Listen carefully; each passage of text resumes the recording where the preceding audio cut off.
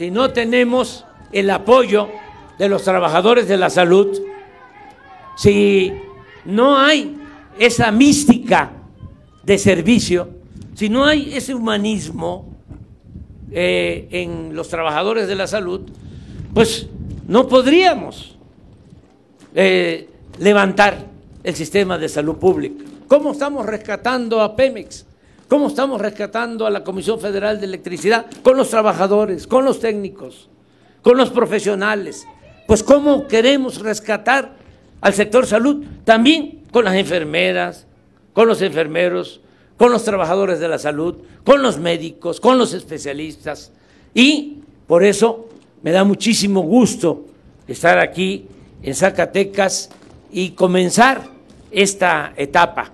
Yo espero que antes de que finalice el año, en los 150, 160 eh, centros de salud, en los hospitales de Zacatecas, no falten los médicos, no falten los especialistas, no falte el abasto de medicamentos y que mejoren sustancialmente el servicio de salud. Nuestros adversarios que nada más andan eh, buscando ver cómo eh, nos eh, cuestionan de qué manera este, de qué manera frenan el proceso de transformación, porque no se cansaron de robar, quieren seguir robando y quieren regresar por sus fueros, nada más que no van a poder porque ya la gente ya tomó conciencia y se van a ir al carajo, ¿eh? para que quede claro. Entonces, cuando digo, cuando planteé de que México va a tener un sistema de salud como el de Dinamarca, se ríen. Pues va a tener no un sistema de salud como el de Dinamarca, mejor que el de Dinamarca. Ese es el compromiso. Y lo vamos a hacer entre todos, como estamos logrando la transformación de nuestro país.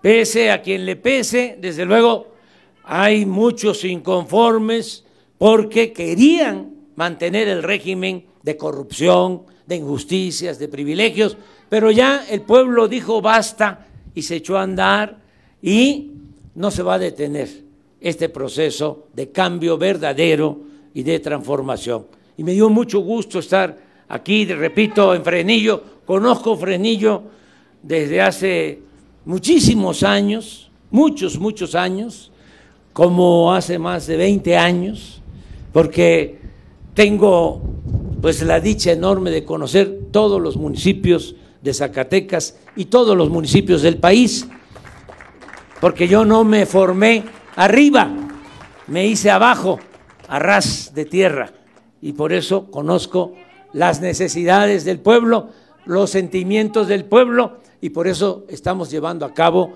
esta transformación, esta transformación democrática que significa mejorar la situación del pueblo y en beneficio del pueblo y con el pueblo. Muchísimas gracias